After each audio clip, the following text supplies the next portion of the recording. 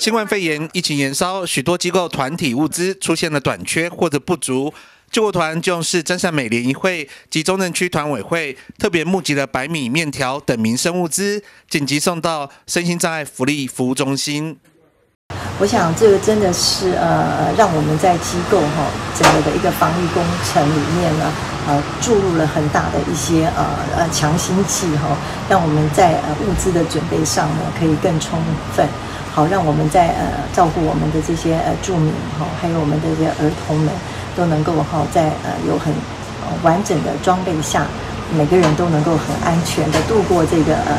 呃疫情很严峻的时候。我想我也是代表我们伊甸基金会，真的是在这里再一次特别的表达，真的是非常感谢感谢呃我们呃真善美协会，还有我们的救国团啊，真的是呃给了我们真的是非常非常大的帮助，我们真的是非常的感谢，谢谢我们的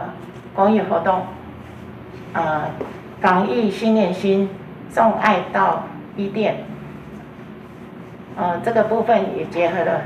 各方的善心人士，做了短短七天之内募集了两千斤的白米。那也希望这些善举能够发挥到各界，呃，大家能够来共享盛举。短短七天内，救国团在各界商家、民间人士赞助下，募集到两千多斤的白米、面条、食用油，紧急送到声音障碍福利服务中心，解决了中心燃眉之急。这次一店需要白米的物资，当我们基隆市中正区团委会收到讯息的时候，已经只剩下库存，库存只剩下五天的量。那本会由我本人。积极的向外界联系之后，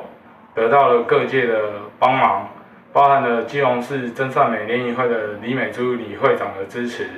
台北市中正区团委会的张佑成张会长的支持情况下，我们短短的七天内募了两千斤白米，那也顺利抵达了伊甸基金会。那在此由衷也感谢一下。连恩典连议员的协助，还有韩世玉韩议员的协助，还有各界善心人士的热情帮忙，响应了这次的活动。